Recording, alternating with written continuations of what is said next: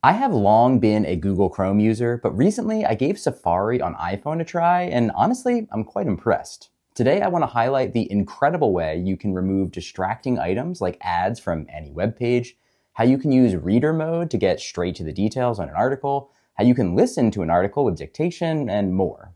Let's start with how to remove ads using a feature called Hide Distracting Items. The scenario here is one that you've seen inevitably a million times.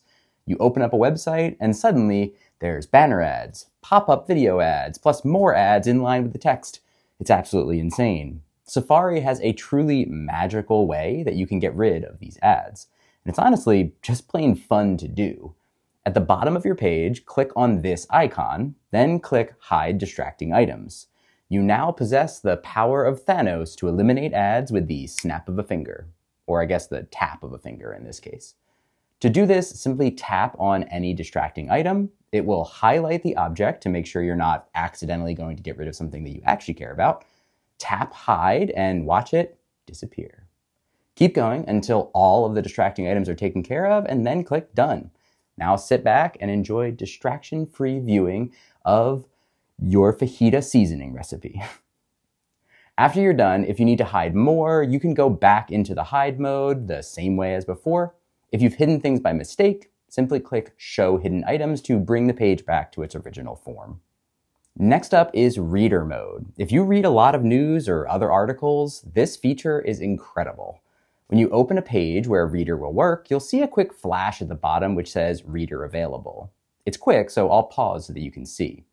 Then to enter reader mode, simply click that same icon as before at the bottom of the page, then rather than individually selecting the distracting items, click Show Reader to automatically remove all of those ads and put the text into a consistent font and presentation.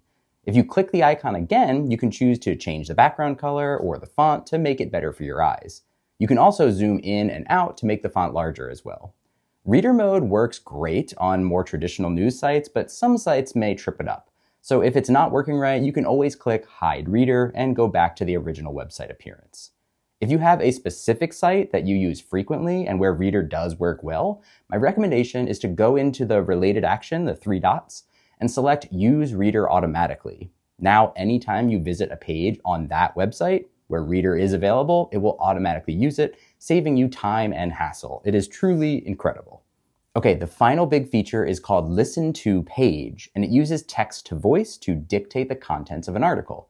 This feature is tied in with Reader, so it won't work on pages where Reader is not also available, but you can select it without going into that Reader mode.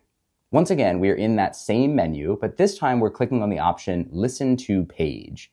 A quick chime will sound, and the page will begin to read in whatever voice you've selected for Siri. Speaking of, if you don't like the voice, it's under Apple Intelligence and Siri in your settings menu. When using dictation, you can set the speed anywhere from 0.75 up to 2 times speed in intervals of 0.25. Once you set a speed, it will remain for the next time, so you won't have to increase it each time if you're a speed listener like me. You can pause the article at any time, and there are navigation buttons to jump back 10 seconds or forward 5 seconds. While listening, you can even lock your phone and the audio will continue to play. So you can either use it standalone as like a podcast, or you can use it accompanying you reading the article at the same time. This feature is super handy, but it's not perfect. It's an AI voice, and it's Siri at that, so it will mispronounce words. But if you like listening over reading, which I absolutely do, it can be really useful to consume written content. There's a few more small items I wanted to call out that you may find useful. In the same reader menu, you can click on the page with a little magnifying glass on it to search for a word on the page. It's the equivalent of find on a computer. The small a and the large a at the bottom will allow you to zoom in and out, not only on Reader, but also just on a regular web page. Finally, you can click the related action, three dots again, to see other settings.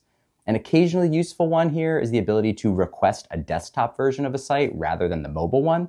This can be helpful when things aren't displaying correctly on a poorly optimized site. Also in this menu is the ability to save sites to the reading list. Once you add something to the reading list, it shows up here alongside your favorites and history. You can do this to store articles you don't have time to read or want to revisit later. Once you're finished with them, you can simply swipe them away to delete them. Another way to save items to the reading list can be found under the Share menu as well. There's also a ton to explore within settings. Here's a couple of highlights. You can change your default search engine to one of five different options if you don't like Google. If you're not used to the address bar being on the bottom, which a lot of people coming from Google Chrome are not, you can move it back to the top. You can require Face ID to unlock your private browsing tabs. You can download items on the reading list that we just discussed so that you can catch up with these articles when you're out of service or on a plane. And those are just to name a few. Now, if you found any of the tips in this video useful, go ahead and let me know by hitting that like button. And if you enjoyed this video, you may like this one about how to stop some of those annoying pop-ups that you get in iPhone apps. Thank you so much for watching. I will see you in the next one.